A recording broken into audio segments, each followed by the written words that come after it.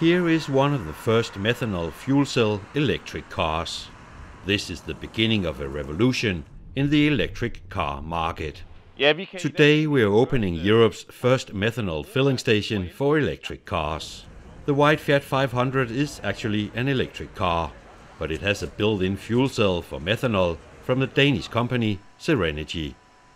It recharges the battery as it goes, and the car can run about 800 kilometers on each fill up. We want to help solving the climate changes of the world. Serenergy is focusing on green methanol, which is produced from CO2, hydrogen, and electricity from sustainable energy sources, for example, wind turbines.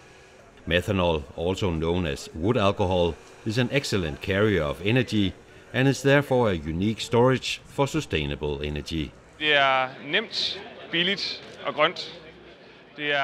It's easy because we can use the already existing infrastructure. It's cheap because methanol is a cheap feedstock, which is already on the market.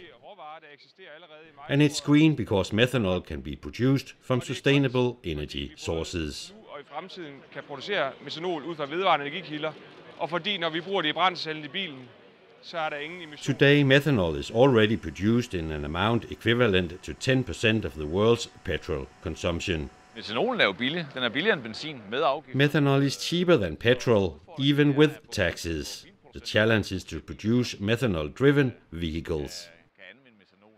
Jeg synes, det er en øh, fantastisk dag. This is an amazing day because today we can see that Smart City Aalborg can create a success with fuel cells. Det at få skabt en succes med brændselsceller. And now Europe's first methanol filling station is open. For en øh, grønnere fremtid.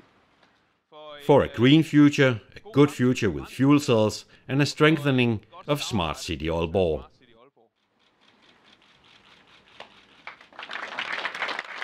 Refueling methanol is done the same way as with petrol and diesel. And there is no need for new big installations. They can be integrated with traditional filling stations as we know them today. Det er kendt teknologi set fra bilisternes side. The drivers can refuel in the same way as they used to, just as fast, and have the same range as today.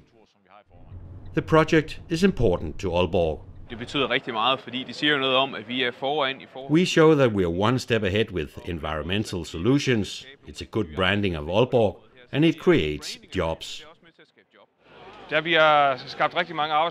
Many jobs are created. In two years, Serenergy has grown from 30 to 50 and is developing rapidly. Og der er ikke noget, der tyder på, at vi øh, stopper med at ansætte lige med det første. Det er, vi er inde i rivende udvikling. Aalborg municipality is positive towards the new technology and wants to integrate the methanol fuel cell electric vehicles into their daily operation. Vi er allerede i fuld gang i en dialog med We Serenity. are already in a dialogue with Serenergy to integrate fuel cells into some of the municipality's cars. De her de er det første køretøjer, vi ser nu, hvor vi kan tanke og få demonstreret. This is the first cars, and soon we will enter a demonstration phase of 20 to 50 cars. We are also in dialogue with several car manufacturers to integrate the technology into electric vehicles from the beginning.